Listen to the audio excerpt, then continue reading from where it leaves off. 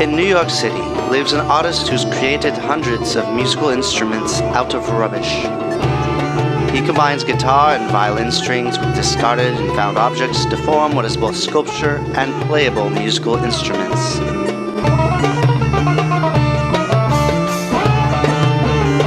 His work is shown in galleries worldwide. He's won awards and inspired generations. I wanted to meet with Ken Butler and discover what his inspiration is. I call them hybrid instruments.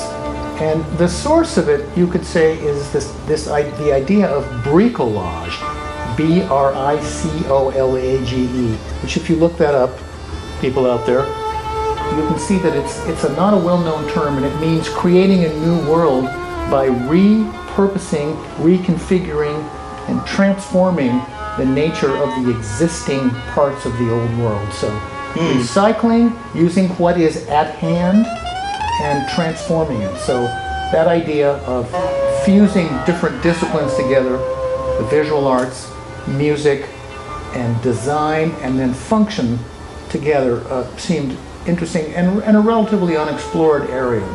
What has inspired you? Well, I, I was mainly as a child was into the visual arts. Uh, and I ended up getting a master's degree in painting and, I was playing violin and a little bit of guitar. Uh, and people told me that I couldn't be all three things. You, you have to pick one or the other. You can't be a painter and a musician, etc. Now that's changed a little bit now, but I thought, you know, yes, I can. And so I thought when I was 30, I made that first instrument, and I, it occurred to me that I could have a career. Uh, because if you make your own instrument, there's no rules for it, there's no history. You can kind of create your own path that way. It gives you a certain amount of freedom to express yourself, and then also it's visually interesting. You can exhibit it as sculpture. It automatically bridges disciplines. So in a way, it's, it's about the human body, the head, neck, body, all string instruments. Body. Yeah, all, uh, all string instruments have that. So, you know, a, a little film reel and a comb. Um, and di different objects that, that have that parameter. Let's say something as ridiculous as a key. Uh-huh. So whatever the whatever that, that configuration of the shape. It's a brush. There's a brush. How did you get started building these instruments? Well, I happen to have right here, I will show you the story of the very first one. 1978, I found this little hatchet on the ground. I picked it up and I thought, oh, that would be kind of a cool little violin. You know, hey man, bring your axe to the jam session. This is a chin rest I put very comfortably on the blade of the axe. Drilled two holes, tuning pegs, put the fingerboard, and then I had a contact microphone on the bridge, plug it into my guitar amp, and it sounded like a crappy violin.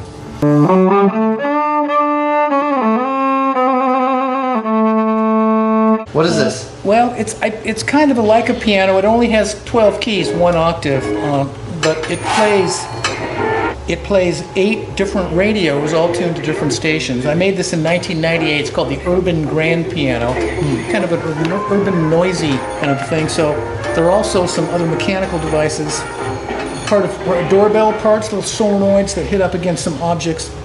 So this is the Projection Grand Piano uh, an incandescent keyboard, and it's got tw uh, 24 keys, two octaves, and it's made from street found materials shelving, and each of the keys triggers different projected light sources that project out on the walls in moving patterns.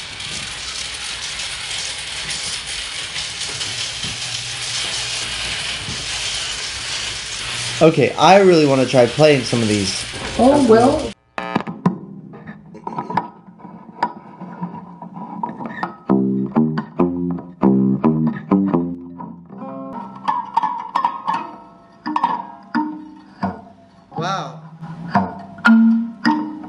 each little thing hanging off here plays a different note.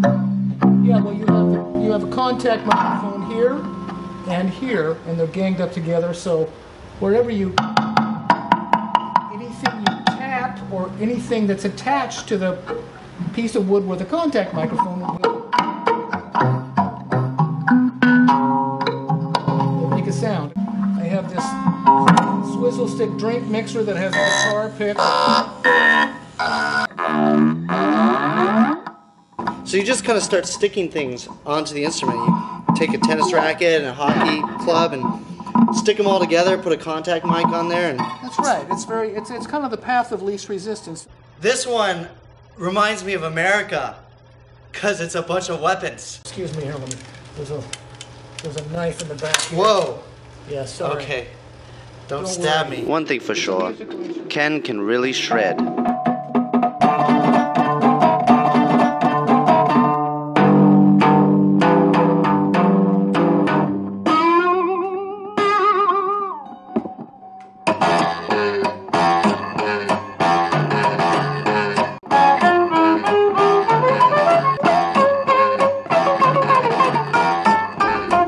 Butler has made so many musical instruments that he doesn't name them anymore.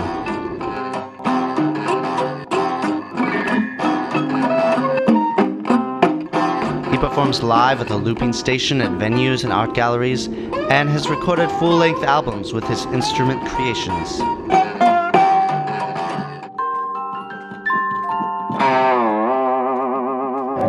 Ken truly is a new genre artist.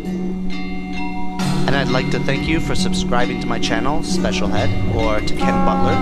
And there's two more videos of other instrument creators that you can click on at the bottom. This is your adventure. You decide where to go.